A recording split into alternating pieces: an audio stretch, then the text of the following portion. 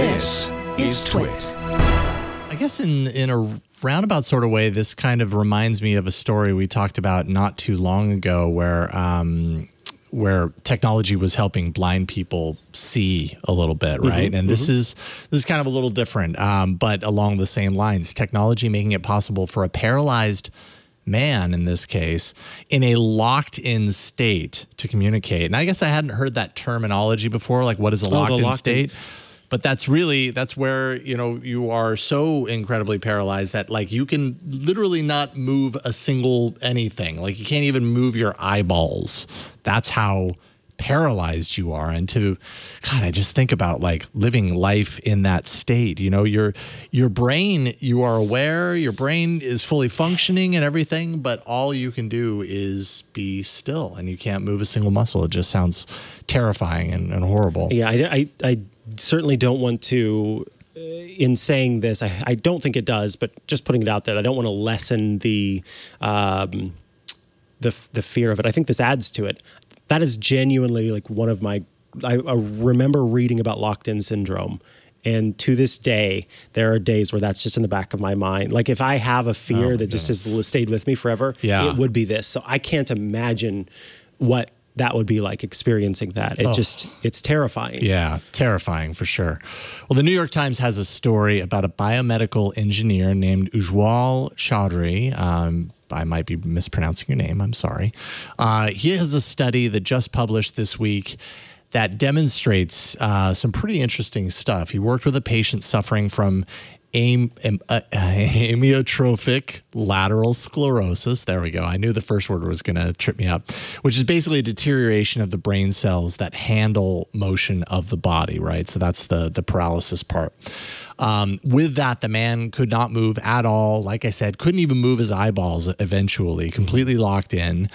Uh, Chaudhary worked with the man. Um, at one time during his work uh, with this man, or at one time in this man's you know life before he became completely locked in, he was able to move his eyeball in a way that he could communicate simple yes and no answers to his family, right?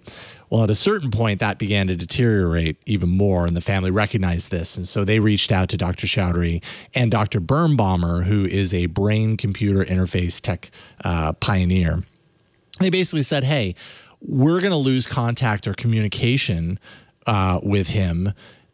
Is there a way to create an alternate communication system so that we can still communicate with him once he loses movement in his eyeballs?" Um, and you know, apparently, by the way, the man did give his approval for his work, so he could still kind of, you know, have agency over the decisions. so that's nice, good. Um, so uh, I just thought the whole process was cool. So I'll just kind of read read through some of what they did to kind of get to where they got. Their their work involved placing two implants in the brain on directly on those parts of the brain that involve body movement. And then the man was asked for months to begin with to imagine moving parts of his body. And they were doing this to see if by imagining moving those body parts, Oh, it would stimulate a reliable brain signal, right? Apparently, after months of doing that, it didn't it didn't really work. So they back to the drawing board. The second step was to play a sound, uh, or and so the sound would either be a high note that represented yes, and a low note that represented no, and those were the target notes essentially.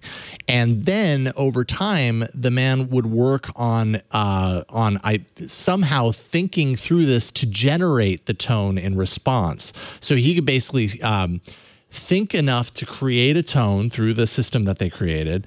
And if that tone wasn't quite on the same pitch as a yes or no, he could like detune it up to say yes or down to say no. Once he matched, then they would know that was his answer, right? Yes or no, uh, to get a match. And and eventually they were able to do this where he was consistently, it, it was consistent, right? Consistent outcome.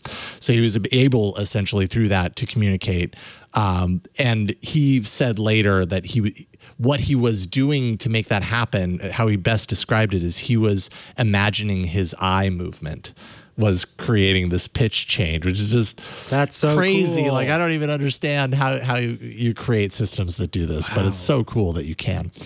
So eventually, the system uh, broadened out, and they created groupings of letters that they put into five different color buckets. So they might have five colors, right? And the alphabet has a certain number of letters in red and a certain number of letters, you know, A through E in red, Oh, uh, D yeah. through whatever in blue or whatever. So they grouped them, and then each, and then uh, through the system, they would say red, and they would wait, and you know, would it, uh, would he say yes or no? And so if he says yes to red, then it's like A, no. B, no. C, yes. Okay, so his first letter is C, and they would, you know, they would, and so eventually they created this system, and it was slow. I think it was like one letter per minute, you know, and uh, not 100% consistent, but at a certain point they got to a point to where these sentences were starting to make a whole lot of sense, right? I think his first sentence was Eh, so there was one day where they realized they had the breakthrough and that it was working. The second day they asked they asked him to write out a sentence and he said, "First, I would like to thank Niles and his Birbaumer, which is, I mean, it, which kind of makes sense. It makes sense enough. Dr. Birbaumer is the doctor, you know, so there, there was some lost in translation there, but you understand what he's saying. Uh, he also said, mom head massage. So he wanted a head massage, right? Uh, he says, everyone must use gel on my eyes more often. So now he's starting to get to a Oh point to where, like, even though he's like locked in and can't communicate, he's able to tell them like what his This is what needs are. need. Like it gives me goosebumps thinking about Oh, it. man, another same. another one, a craving. He said goulash soup. Uh, and sweet pea soup. So apparently he was having a craving, you know, to to eat for for lunch or dinner or whatever. But um, just a really so cool, cool. Kind of so cool. exploration and report, and uh, like it's just one of those things that like when I read it, I was like, man, technology is cool that you could do that. I, that's the stuff that makes me love technology. It's not the teardown of the like I get excited about that in its own Yeah. thing, but the stuff that actually makes me love technology is this. This this I mean, just imagine if everything works out and you know people are better about uh, the climate and all of that and we're here you know hundreds of years from now what we could what we'd be able to Potentially do achieve. that maybe locked in syndrome would not be a thing anymore you know Yeah, or or yeah, or maybe it is a thing, but it does it's it It's not a doesn't completely pre yeah, it's yeah. not it's not one hundred percent locked away. Like, um, you know, this was uh, just as a reminder, this was just one patient, right? Mm-hmm. This is a one study with one patient. There's a ton of research that still needs to happen here, but a lot of really positive outcome on just this one example.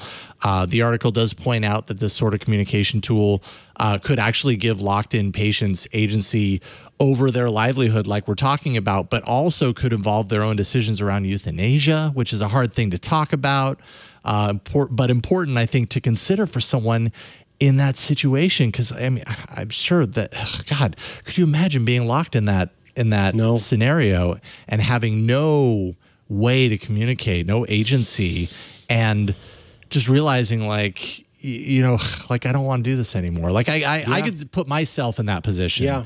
and I, I have to imagine that's I where I that- would be eventually where I'm like this 100%. I don't know that this is worth it for me even something as small as not getting enough eye drops. Like, yes. Yeah.